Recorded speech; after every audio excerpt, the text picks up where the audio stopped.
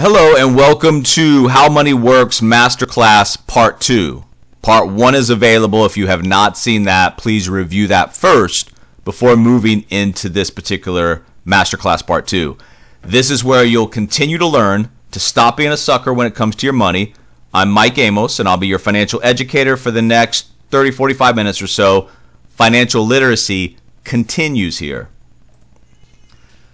Today, we'll take you through the seven money milestones. It's your step by step action plan designed to help you chart the course from where you are today to financial security, independence, and control. The good news is that no one is too far ahead or too far behind to benefit from these milestones.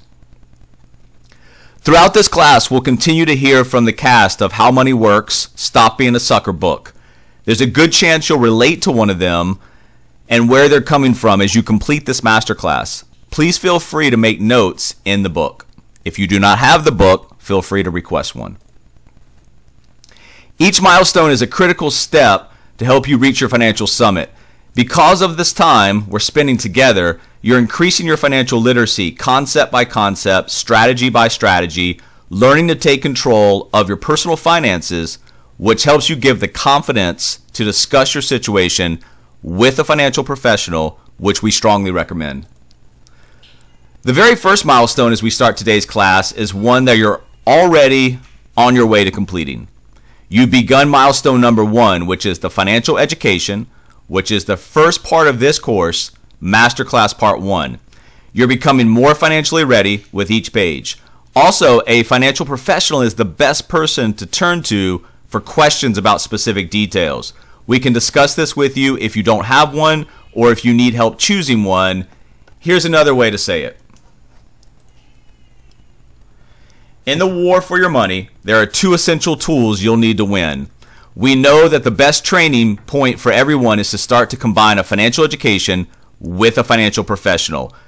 Take this education seriously. You don't get this from school, you don't get this from your parents or your friends. Treat your finances with the level of dedication that you put into your health. Google things, ask questions, but then turn to someone that you trust that actually does this for a living. This is the time when you can put everything you've learned into action with your financial professional who can assist you to crunch the numbers, chart your path, choose products, stay accountable, and course correct along the way. Don't try this alone. Remember what Art of the War author Sun Tzu said Without local guides, your enemy employs the land as a weapon against you. We all need a guide, and make no mistake, we're battling forces who want to take control of our money so we'll continue to remain a sucker for our entire life. By finishing this course and establishing a financial professional as your guide, you'll complete milestone number one, the financial education. Proper protection is milestone number two for a very important reason. You need to protect yourself and your family from possible future loss of income or future loss of savings before you begin the rest of this journey. If you were to die prematurely, your family could be left without your income in addition to being without you. Your current savings probably will not be enough to take care of them. Though protecting yourself is more important than protecting your property, as Thomas Paine put it, you might not be able to fully protect yourself from illness or accidents, but you can protect your income and your wealth. Ironically, protection of your financial assets is called life insurance. It's a defensive strategy motivated by a sense of love, responsibility, or both. How much life insurance should you have? The answer to that is different for everyone based on your situation. However, as a rule of thumb, we recommend you consider having life insurance coverage that's at least 10 times your annual family income. As an example, if you are a $50,000 a year earner, you should consider half a million or $500,000 in coverage. At a conservative 5% rate of return, that would replace half of your income. For a more specific calculation on your family's need, ask your financial professional. Together, you can consider factors like how old you are, how much debt you have, your health, your number of dependents, your role in your business, and your overall financial situation. Many people like Dana here didn't know 10 times income was just the starting point for protecting your income. Sounds expensive, but you actually need to look closer into it before you decide you can't do it. You'll be pleasantly surprised. The same people who underestimate how much life insurance they need tend to have a uh, tend to have a tendency to overestimate how much it will actually cost. Both assumptions can keep families from putting proper protection into place. As Insure.com says, only about 59% of Americans have life insurance, and about half of those are underinsured. You and your financial professional should cover your short term as well as your long term debts and other outstanding loans, your financial goals, your mortgage or rent payments, how old your children are, and how much their education could potentially cost. Just like with so many things, life insurance, with all the options out there, seems complex at first, but once you know a little, it becomes far simpler. To start, it's important to understand that all life insurance usually falls into two basic categories temporary and permanent. Let's look at term life insurance, which provides coverage for a specific period of time, like 10, 20, or even 30 years. It's the most affordable life insurance available because it provides only a core feature, a death benefit, that money paid to the beneficiary when the insured dies, and because it also expires at the end of that term. With term life insurance, it's possible to have financial, financial protection for your family or your business with a relatively small monthly payment. This can make it a fit for anyone with a limited budget during times of highest financial responsibility, like raising your children, paying off things like your mortgage or your college, and running your company if you are a business owner. But what happens when the term on your life insurance ends? There are two scenarios that you can look at. Scenario one is that you just don't need the coverage anymore. You can simply let your policy in, no fuss, no muss. But what if after your term, you still need coverage because you're still paying off your home, or you're a single income couple, or maybe you're supporting grown children or grandchildren, or you're still running your company. For these reasons and others, you might consider scenario number two keeping term insurance. If you're in good health or if your term policy has guaranteed insurability, you might be able to renew your old policy. Remember, if you want a completely new term policy, you have to qualify medically again. If you can't qualify, a new term policy might not be an option at that point. If you do qualify, the new policy will cost much more because of your age. The older you are, the more expensive new term life insurance is going to be. This is what we call the financial X wave. In your younger years, represented in the blue on the left, you typically have more responsibility and less accumulated wealth. In your later years, the yellow side, the plan is for your accumulated wealth to increase as your responsibilities hopefully decrease. Term insurance is typically most useful when your responsibilities are higher and the wealth is lower, the left side. If these two factors flip later in life as planned, term life insurance becomes less practical. Your financial professional can help you look at the X wave and apply it to your own individual and unique situation. Now, let's look at permanent insurance. Like term, it provides a death benefit to protect your family financially. However, Permanent insurance is designed to be kept in place and protect you for your entire life, not just a period like term.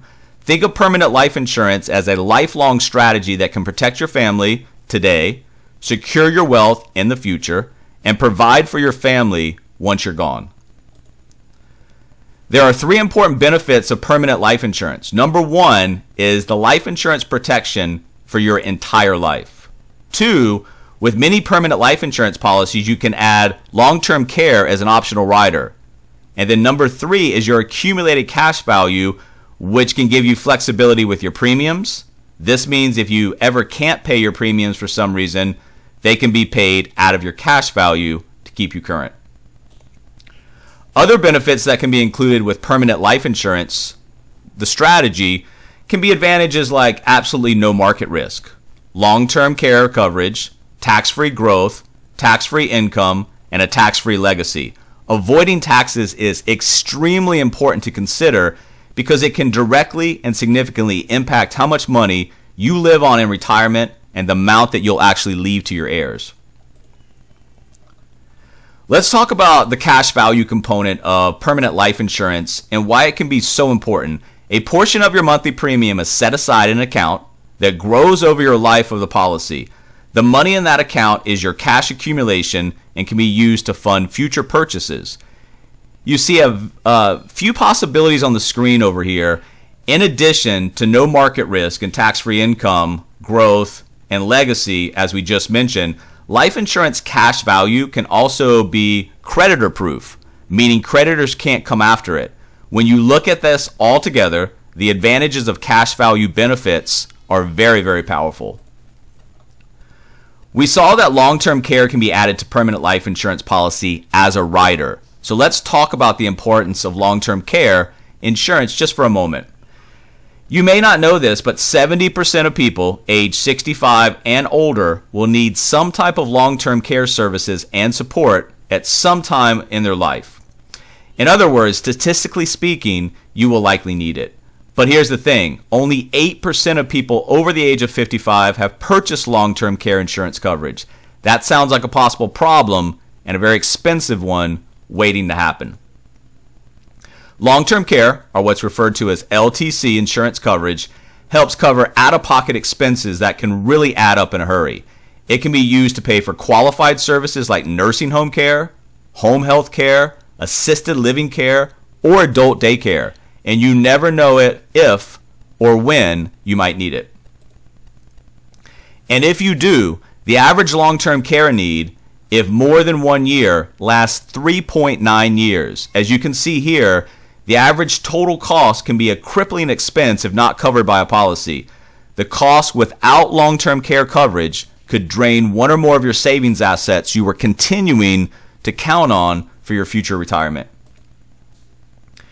There are a couple of long term care options that you should look at. The first is a traditional standalone policy. Even if you don't have life insurance, you can go directly to an insurance company to purchase a standalone long term care policy or you can opt to add it as a rider to your permanent life insurance policy.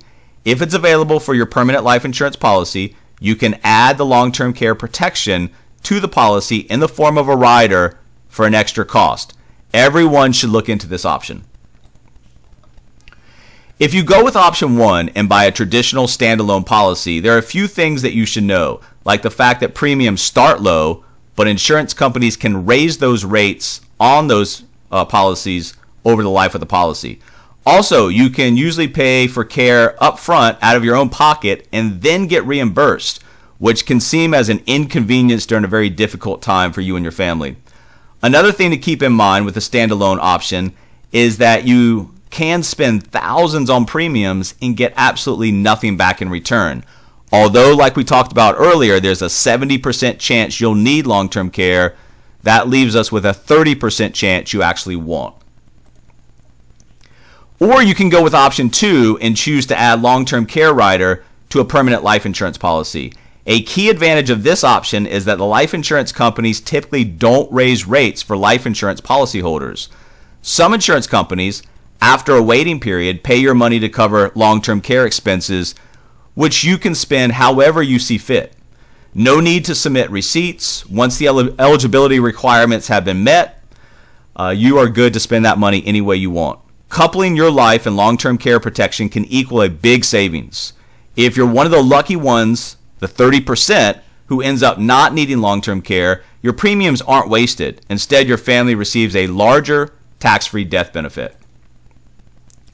Long term care riders aren't the only riders available. You can also consider other living benefits like critical, chronic, and terminal riders that can help save the day if you face any health challenges like you see on the screen. You should discuss adding these riders to your permanent life insurance policy with your financial professional. Some are inexpensive or even cost nothing, zero extra to add. Once you have milestone number two covered, it's time to tackle milestone number three creating your emergency fund. We recommend that you save at least three to six months of your annual income to prepare for any unexpected expenses like unforeseen medical bills, home appliance repairs, or replacements and hassles like you know major car fixes. And don't forget, costly of all, possible unemployment. If you're currently living paycheck to paycheck, like many people are today, your emergency fund could be the insulation that separates you from financial disaster if something actually happens. Check out these sample annual incomes and how much you'll need to fit our three to six month income guideline for the emergency fund. TJ has a good question, which you might be thinking about too. Where do you get the money to create an emergency fund? The best tactic, especially if your income is tight like it is for most, is to put away a little money every month until you reach your suggested goal of about three to six months of income saved. Think of it like a debt payment to yourself. Do until you achieve your emergency fund goal.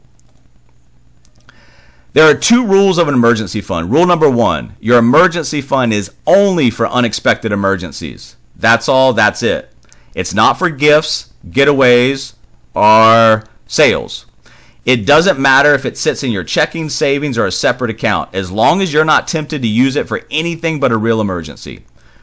Rule number two if you need to use your emergency fund to fix a car, replace a fridge, or pay for braces, don't hesitate to use the money. That's what it's there for.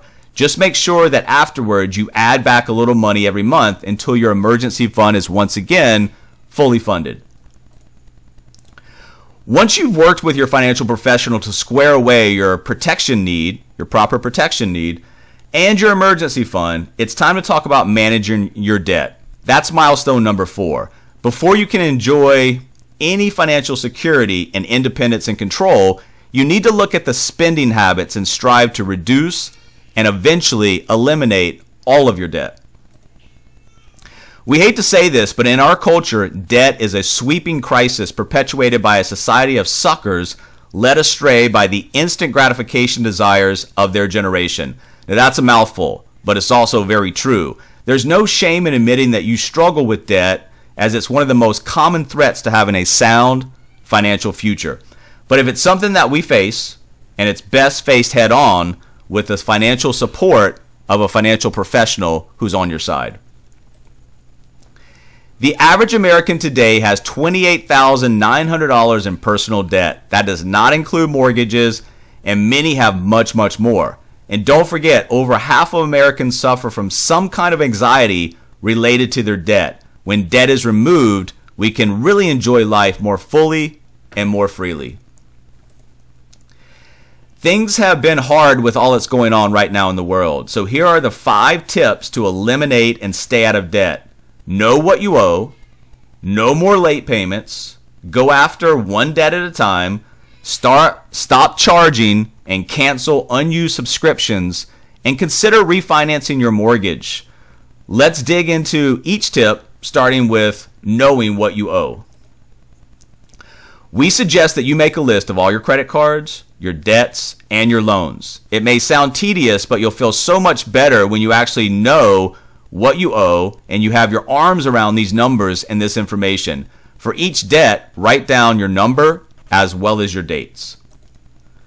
Then, once a year, pull your credit report from one of the free online services. Make sure it's accurate and make sure it's up to date. By law, every American has the right to a free credit report once every 12 months.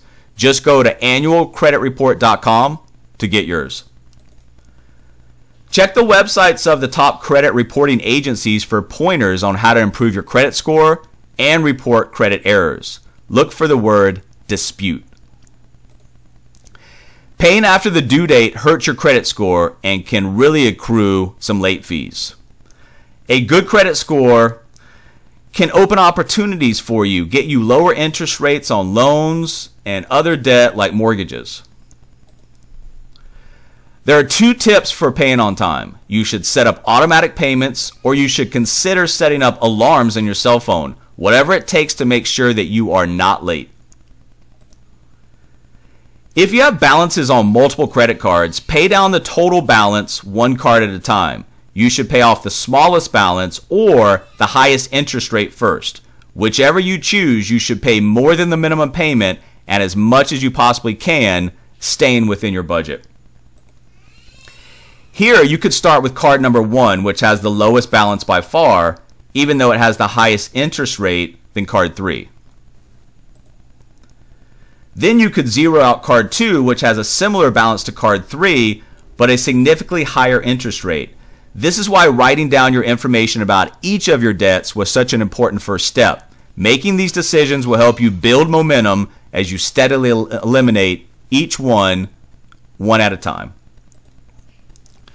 As you pay off each debt, you're feeling better and you're freeing up income. But don't spend it on eating out or new shoes. Use it to create debt elimination momentum by adding money that you were paying to the previous cards to your payment on the next one. This will increase the speed at which you're paying off your debt and hopefully your excitement to get to a debt free life.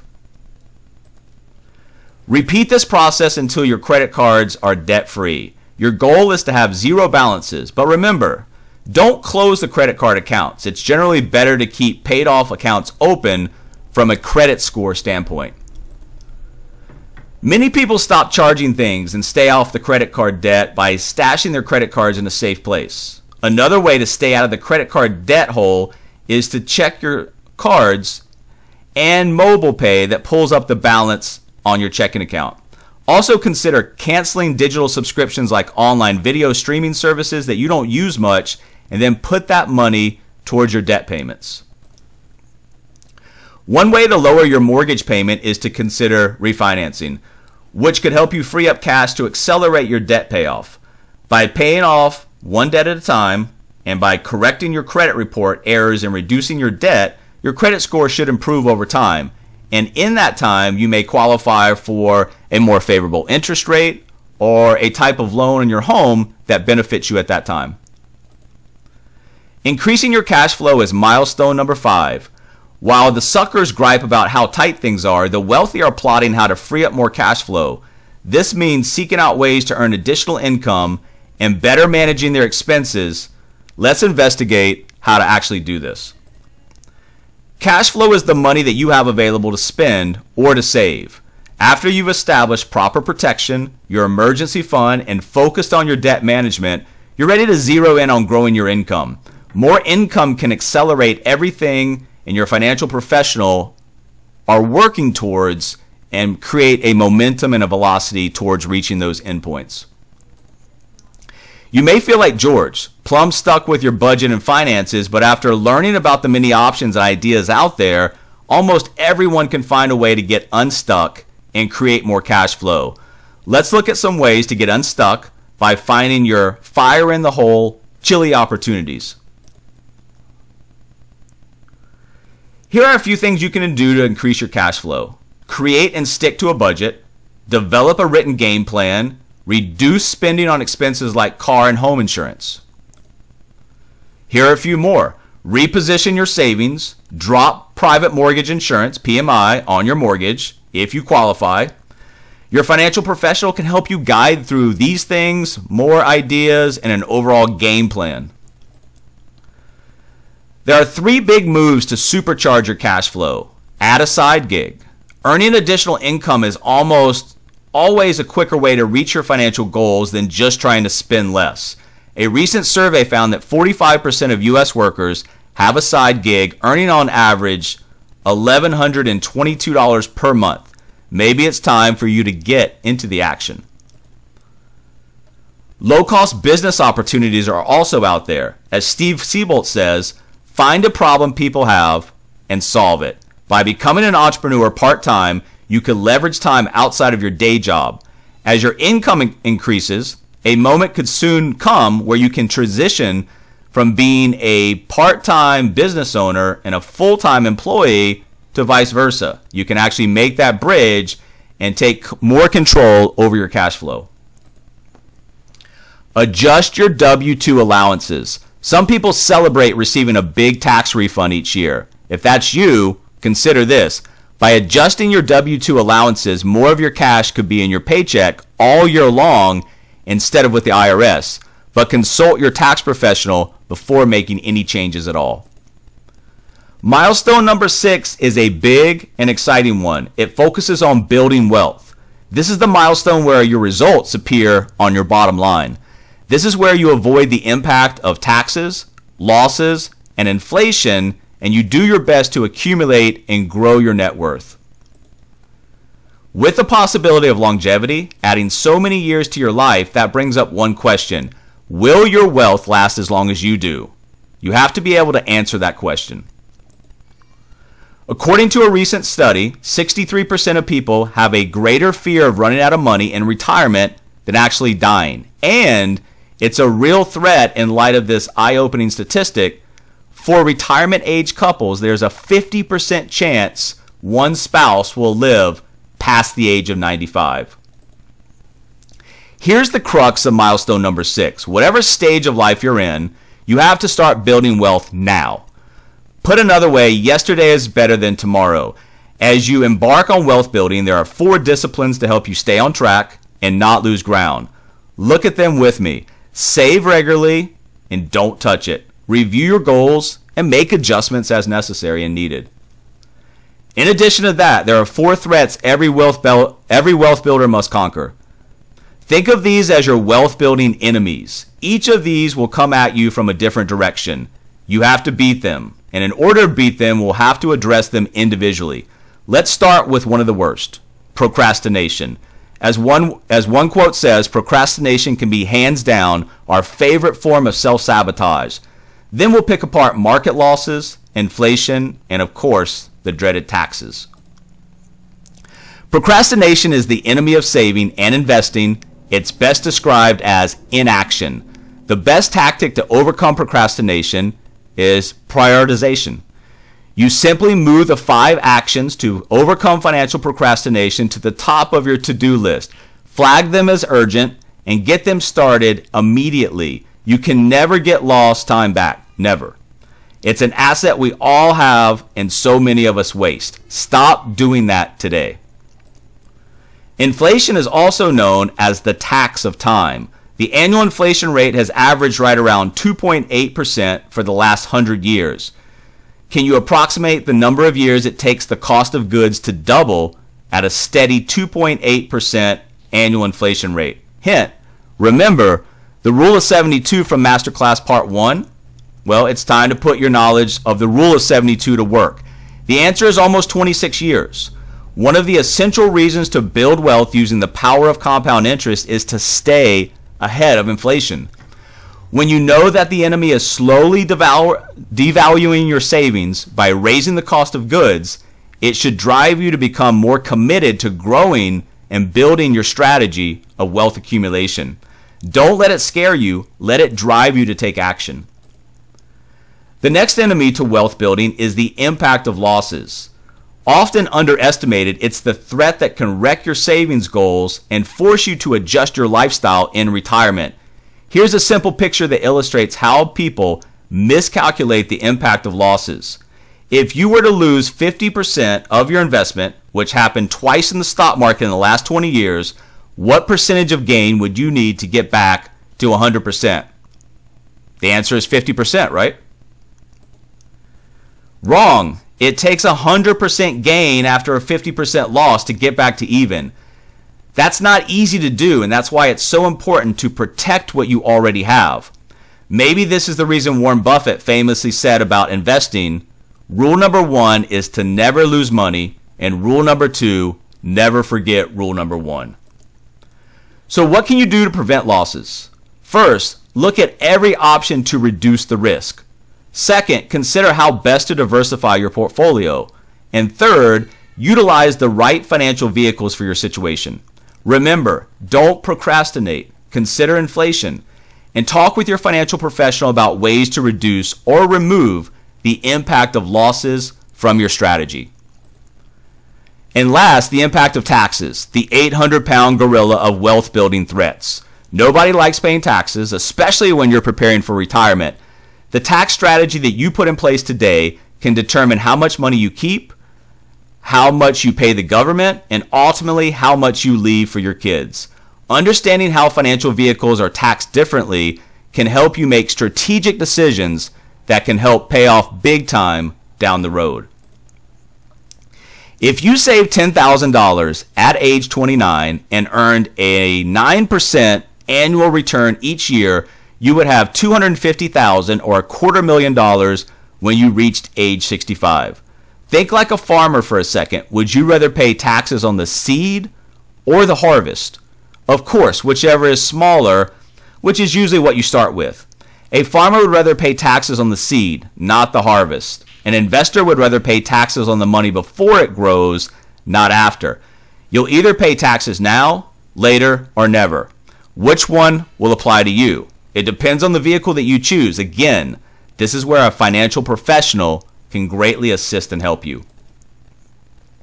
When you sit down with them, they can help you figure out, you know, how you're being taxed now and what your strategy can be going forward.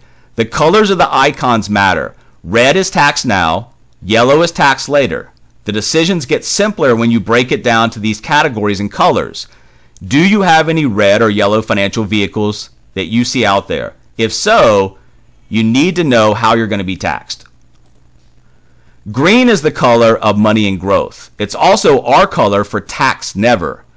Different types of accounts can be taxed completely differently. Green icons mean no tax at all. Green never looks so good, right? And any of these tax vehicles will never be part of your wealth building strategy if you don't understand and use them properly. Again, your financial professional can be great help in choosing the right products and the right strategies and the right vehicles for your unique situation. The boxer Mike Tyson said one time, everyone has a plan until you get punched in the mouth. Did I hear he's considered coming out of retirement? He's in his late 50s now and hasn't boxed in more than 15 years. Maybe he should listen to his own words. The best way to avoid running out of money in retirement is by not putting yourself in a position for it to happen to you. In other words, stay out of the ring. In a recent Gallup survey, 85% of non retired Americans investors strongly agreed that having a guaranteed income stream in retirement to supplement Social Security benefits is absolutely crucial and critical. Guaranteed income can help you avoid the risk of running out of money in your retirement.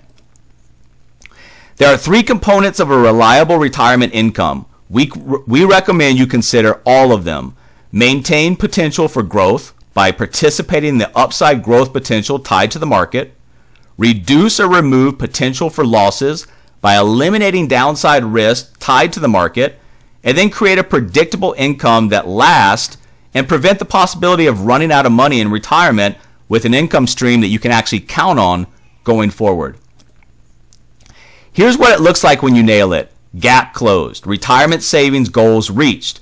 By stacking up multiple streams of income, this person will have a reliable income because they've saved the amount necessary and got the rate of return necessary to reach the savings required to make the re- uh, retirement they imagined possible. They'll never run out of money in retirement and could even have some left over to leave as a legacy to the children. How does that sound? Well, you can work with your financial professional to figure out your income streams and the numbers you need to be. And the very last milestone protect your wealth by creating a will and guarding your legacy. This is something that even the rich miss sometimes. Prince, as well as Aretha Franklin, both of whom died just a few years ago, had sizable estates, but neither had an estate plan. Both left their families and their business partners with an emotional, financial, and legal mess taking years to untangle and sort out. This shows how important it is to protect your wealth with an estate plan. According to Rocket Law survey, 64% of Americans don't have a will.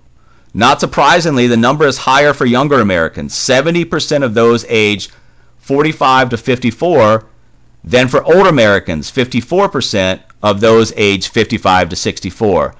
Do not have a will. Prince was only 57. Your estate plan is how you protect your wealth, your family, and your legacy when you die or if you're incapacitated. It's the set of documents, including your will, used by your loved ones to carry out your wishes and your decisions. There are four documents in the estate plan that you should include. You'll need a will, your financial power of attorney, an advance health care directive or a living will, and a HIPAA release. Your legal professional can help you put all of this into place. Having an estate plan can help you avoid the government making decisions about who gets your property and who takes care of your children. This process of a court administrating an estate in accordance with the state laws is called probate. No one wants to go through that if they do not have to. You can also help your family and your business partners avoid unnecessary expenses and delays with the probate process with one additional estate planning tool a trust. Trust can do many things for you. Again, your legal professional can give you the best advice when it comes to trust. Please keep in mind that some of your assets pass directly to your named beneficiaries at the time of death and are not transferred through a will or a trust. Things like life insurance, annuities, IRAs, 401ks, and other qualified retirement plans work that way. Some bank and investment accounts also distribute funds directly to your named beneficiaries. Jointly owned assets with rights of survivorship pass directly to the joint tenant at the time of death.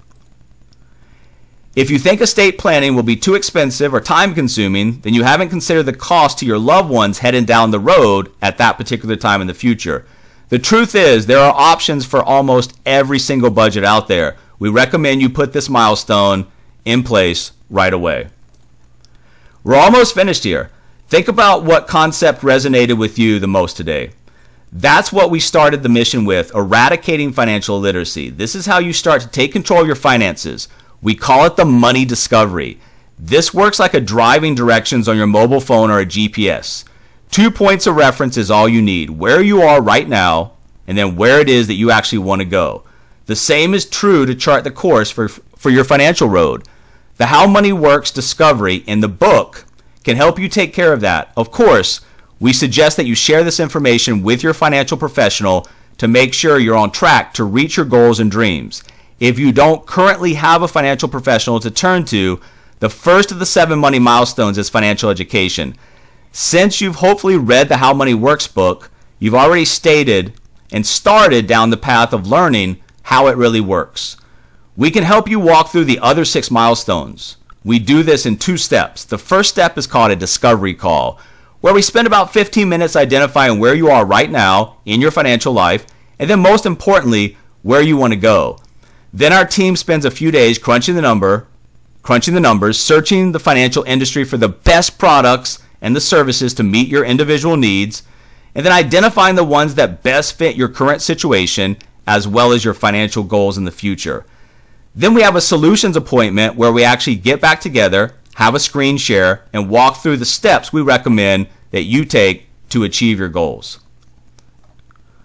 We're at the conclusion of today's session, and the entire How Money Works masterclass. Part 1 and Part 2 have been completed now. Milestones like the ones that you just learned about will bring up questions like the ones that you see on the screen here. A financial professional is absolutely the best person to turn to for questions like these and others.